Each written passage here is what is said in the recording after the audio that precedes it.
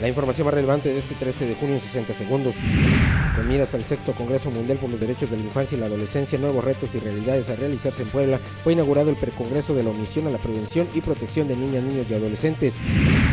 El gobernador del estado, Fernando Ortega Bernés, confirmó que el secretario de Coordinación, Jorge Richaud, le manifestó su deseo de participar en el proceso de elección de dirigente municipal del PRI, por lo que renunció. El consejero presidente en Campeche del Instituto Nacional Electoral, Luis Alvarado Díaz, reveló que de acuerdo a los reglamentos establecidos antes del 30 de junio se publicará la convocatoria para elegir a los que integrarán este organismo. Para dar mayor fortaleza a la Procuraduría General de Justicia fue inaugurada la Fiscalía Especializada en Robo de Vehículos y Autotransporte, con lo cual se le brinda mayores garantías a las personas víctimas de este delito.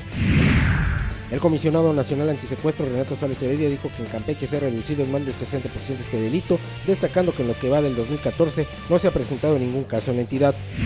Más información en puntocampeche.com.mx.